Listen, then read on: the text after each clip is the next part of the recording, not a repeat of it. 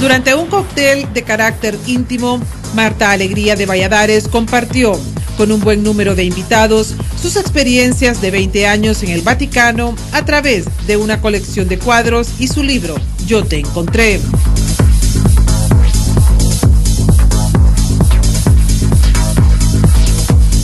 Quien es la viuda del ex embajador de Honduras en el Vaticano, narró con mucho sentimiento esas experiencias inolvidables que aquilató durante dos décadas en la Santa Sede, mientras la administración de su santidad Juan Pablo II y Benedicto XVI.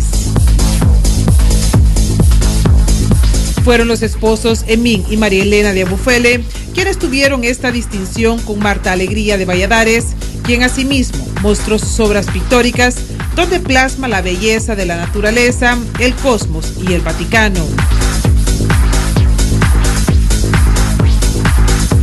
Fue una noche de arte, cultura y sentimientos en la ciudad de San Pedro Sula.